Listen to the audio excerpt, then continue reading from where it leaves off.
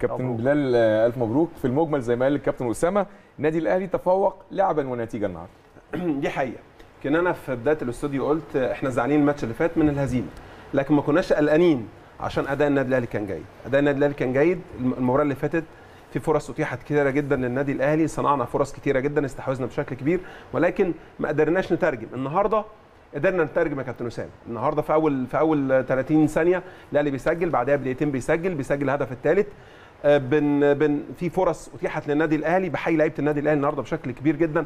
وكمان بعذر موسيماني. النهارده في بتبقى في عندك مشكلة كبيرة جدا لو في خط من الخطوط ما فيهوش انسجام خاصة الخط الدفاعي. انت ممكن تلعب بال- بالجانب الأمامي أو الخط الأمامي ممكن تعتمد على إمكانيات ومهارات اللعيبة.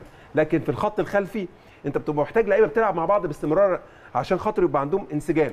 لأن الحتة اللي قدام بتعتمد على على المهارة بتعتمد على إمكانياتك على ذكائك على مدى قدرتك. في تسجيل الأهداف لكن الحتة ال- ال- الخلفية الخط الدفاعي تحتاج إن اللعيبة دايما يكونوا جنب بعض يا كابتن أسامة. تحتاج عشان يبقى في انسجام عارفين بعض التركيز الوقفة إز- آه، الصح إزاي؟ المدير الفني بيحفظ كتيرة جدا اللعيبة اللي بتلعب في الخط الخلفي.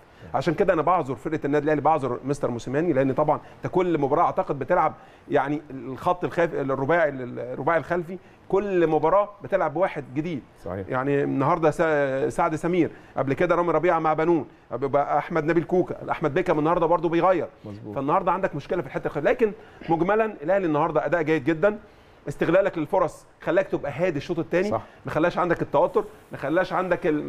ما- اداش فرصة لإمبي إن هو يبقى عنده هو المساحات اللي بيشتغل فيها. أنت اللي بقى عندك المساحات لأن أنت اضطرت فرقه إمبي إن هي ال...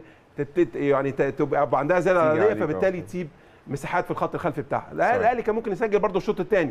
لولا برضه أنا مش بشوف إن هي سوء توفيق ولكن سوء استغلال الفرص في أكتر من كرة أتيحت واحدة لطاهر واحدة لصلاح محسن كان ممكن يسجلوا اهداف فيها وواحدة برضه واحدة صلاح لقفشة. محسن لصلاح. صلاح دي كانت سهلة جدا واحدة لقفشه طبعا. كان ممكن يسجل هدف فيها. فالاهلي النهارده شوط أول جيد جدا جدا الشوط الثاني.